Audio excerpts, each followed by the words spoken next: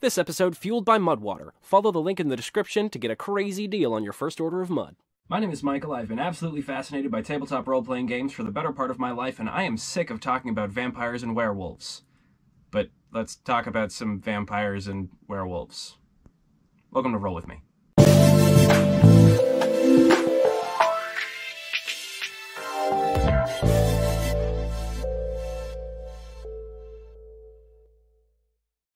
When we think about Monster of the Week, we think of vampires and werewolves and ghouls and zombies, which are kind of like ghouls, and mummies, which are zombies with cloth on them.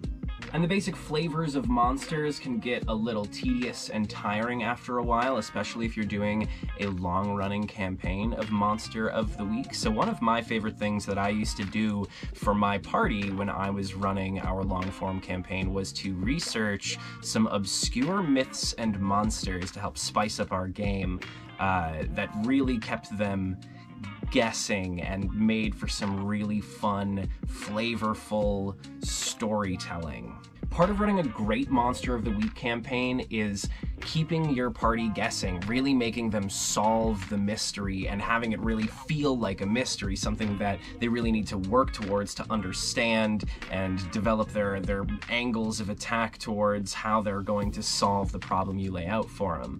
And a, a good way to do that is to dive into creatures that they don't know of, things they haven't heard of, or uh, weird obscure legends that you made up uh, uh, based on real thing. You can do anything. You can literally do anything. So like branching out of the big three of werewolves and vampires and zombies, we can we can really dive into some cool stuff. The full moon is high in the sky. Your monster hunting party receives a call. There's been a wolf attack in the woods outside of town. Okay, let's put two and two together. Grab the silver bullets, say your prayers, and get ready to take down some werewolves. And you get into the woods and you track down the the creature from the fur and the markings on the trees. And oh, it's a cold autumn's night, and you're facing down this creature, and all of a sudden you see it in the clearing, in the moonlight a hulking, furry, fanged beast, fearsome and large, covered in blood and fur and matted tufts of bloody fur. And you open fire on it with your silver bullets. And it doesn't do shit. Because it's not a werewolf. It's an Amarok, a gigantic wolf from Inuit mythology said to stalk and devour any person foolish enough to hunt alone at night. Unlike wolves who hunt in packs, Amaroks hunt alone. In the 19th century, Danish geologist and Greenlandic scholar Heinrich Johannes Rink reported that the Greenlandic Inuit hold the word Amarok exclusively for this specific legendary wolf, whereas other Arctic peoples use it to refer to any wolf. So keeping your players guessing on this werewolf game is going to be super fun because if you have them go on this wild goose chase to collect silver bullets or uh, to make some holy water or something and, and, research how to kill a werewolf or figure out how to track and, and, and catch a werewolf or how to turn a werewolf back, right? They're not going to be suspecting that it is a completely different creature from mythology, this horrifying wolf that in many ways could resemble what a werewolf looks like in werewolf form, but is in fact this horrible god creature from Inuit mythology that does not adhere to the rules of what we know as werewolves. It doesn't listen to silver bullets. It doesn't care about the full moon. It just happens to be a night on the full moon. And now we have to figure out how to deal with an Amarok. And there's not a lot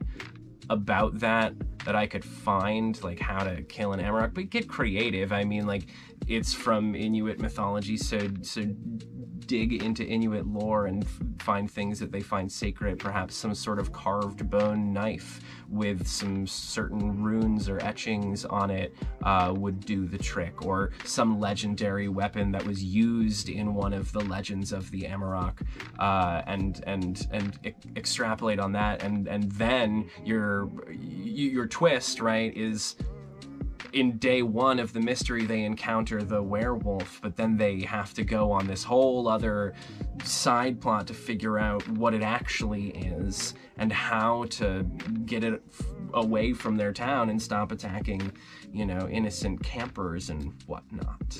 And there is nothing I love more than a good twist, but it has to be earned. There has to be some sort of something happening in town. Perhaps there is some uh, nature ceremony being performed by the local uh, Inuit uh, reservation.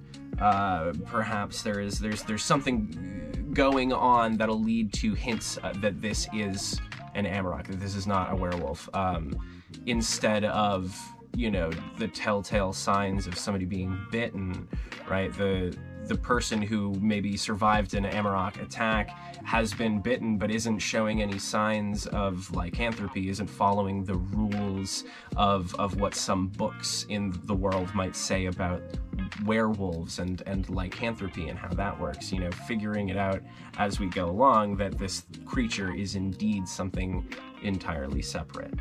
Something strange has happened at Jethro Brown's farm. All of the cows in one of his fields appear to have been bled completely dry. Not a sign of blood anywhere in the field. All the cows, nothing but skin, bones, and meat. And all of the blood is gone. Bone dry. It's a chupacabra. It's not a chupacabra. Chupacabras drink the blood of goats. So what is this creature? What is stalking the livestock of Jethro Brown's farm and bleeding the cows dry? I'll tell you. It's a Rakshasa, or, if it's female, a Rakshasi. In Hindu mythology, these are a type of demon or goblin. Rakshasas have the power to change their shape at will and appear as animals, monsters, or in the case of female demons, as beautiful women. They are most powerful in the evening, particularly during the dark period of the new moon, but they are dispelled by the rising sun. They especially detest sacrifices and prayer. Most powerful among them is their king, the ten headed Ravana. Putana, a female demon, is well known for her attempt to kill the infant Krishna by offering him milk from her poisoned breast. She was, however, sucked to death by the god. Not all Rakshasas are equally evil. Some are more akin to Yakshas, nature spirits, while other are similar to Asuras, the traditional opponents of the gods. The term Rakshasa, however, generally applies to those demons who haunt cemeteries, eat the flesh of men, and drink the milk of cows dry, as if by magic. So I guess I probably should have said Baron of Milk rather than Baron of Blood. That's fine. Rakshasas are super cool. Uh, they were popularized by Matt Mercer in Critical Role, uh, or repopularized, I should say. I think they've appeared in Supernatural. They've appeared all over the place. Uh, there's a lot of pop culture references to Rakshasas. They're very cool. They're shapeshifters. They can do lots of magical things.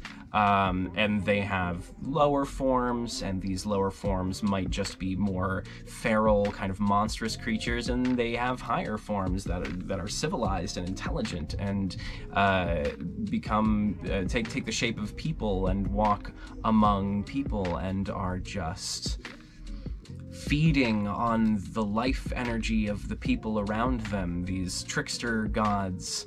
Uh, so you could have a Rakshasa start out as a mythical feral monster, right? This is your mystery, is to figure out what's bleeding the cows dry, right? And you find out it's a Rakshasa, and you figure out how to defeat a Rakshasa, and then you realize that they travel in packs, and there's a hierarchy to them. They follow a political structure, and that there is someone pulling the strings And if you want an overarching villain for your campaign in Monster of the Week, a Rakshasa is a really cool alternative to the Strahd style vampire. Equally calculative and intellectual and intelligent, these creatures are very dangerous and very powerful and very clever. So outsmarting them might not be the easiest thing, and fighting them directly is not going to be the easiest thing. And that's why this creature can be such a powerful, overarching villain, the the, the big bad evil guy out there in your campaign. Rakshasas are cool and cooler than vampires.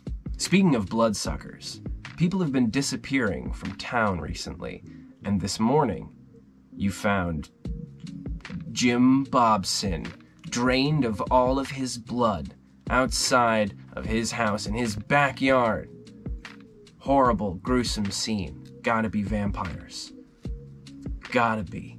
So you grab your holy water and your crosses and your garlic and you get ready for battle and you say your prayers and you face off against the Camazotz, an ancient lesser god from Mayan mythology described as an anthropomorphized leaf nosed bat. This led to conjecture about the source of the myth. Some believe the ancient peoples based him on the common vampire bat or on Desmodus draculae, a much larger species, both leaf nosed as well. Both of these species inhabited Mexico in 100 AD when a bat deity was first mentioned in a cult of the Zapotec tribe.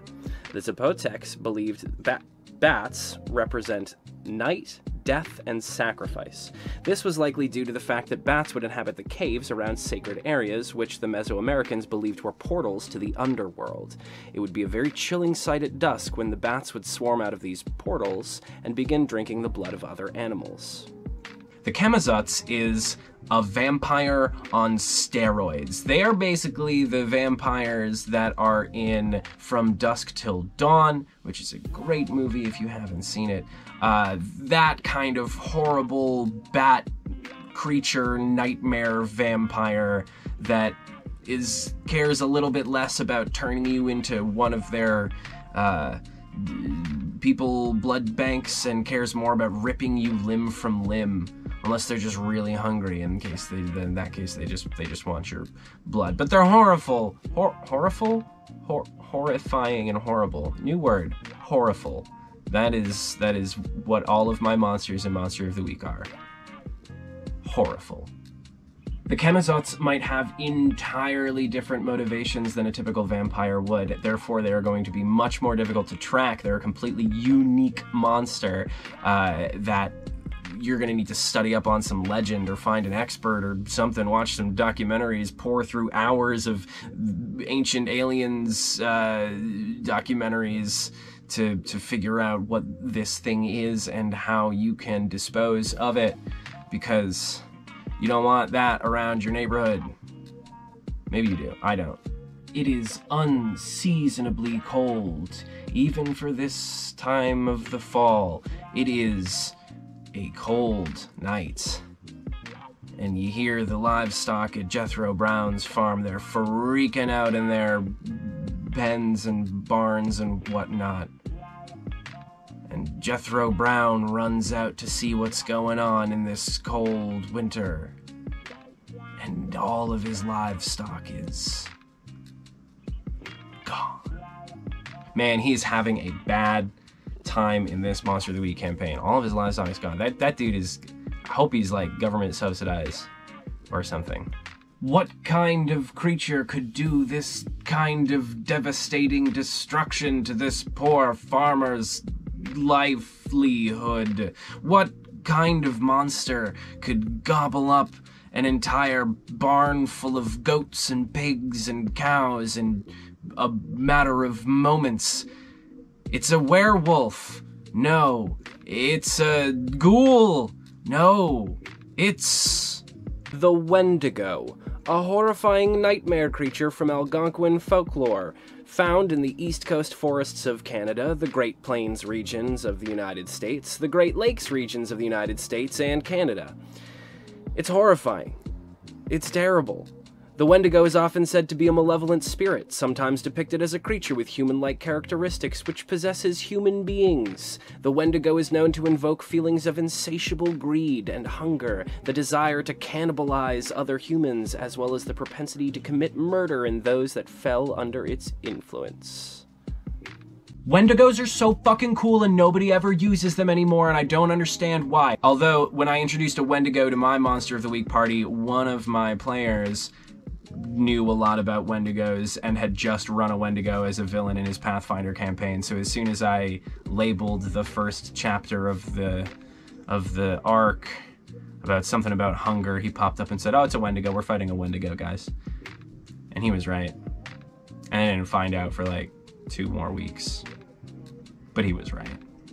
Wendigo sickness is super cool. If a Wendigo uh, looks directly at somebody and they don't die, they develop Wendigo sickness and they become a, a cannibal and they need to eat raw meat and and eat so much food to satisfy their hunger until they transform into a Wendigo themselves. And you can stop this Wendigo sickness by killing the original monster. So holy shit, if a Wendigo like sees a group of campers, Boy Scouts or something out on their winter jamboree, and they all come back and they're eating all sorts of crazy shit, and everything's weird, and they're all getting sick and stuff, and then they're like turning into Wendigos, and you got a bunch of little cannibal kids running around the town. Holy shit, that would be sick! And if your party keeps figuring out what you're trying to do, and and they always hit the nail on the head, and it's never a strange or interesting mystery for them. You can always go aliens. You heard what I said. Aliens. Fucking A, right? You can do aliens. You can do all sorts of aliens. You can do humanoid aliens. You can do insectoid aliens. You can do aliens in a gaseous form. You can do alien bugs. You can do, I said that one. You can do alien shrimp.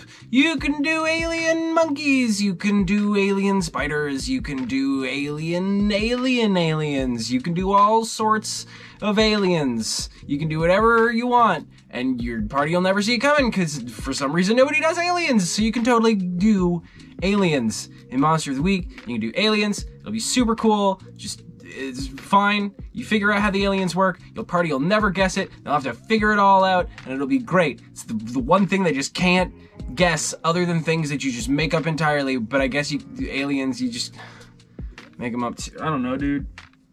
You happy now? You nerdy. The beauty of Monster of the Week lies in the making of the mystery and the party going down this rabbit hole to understand what is going on in their world and to figure out how to stop it and put an end to it. It makes for a much more fun game when the story is interesting, and the story is easily made more interesting by using more obscure and interesting monsters as your villains in the game. Yeah. Yeah. Well, I hope you found this helpful. Um, and uh, let me know what else you guys want to know about Monster of the Week or other tabletop gaming things. Yeah.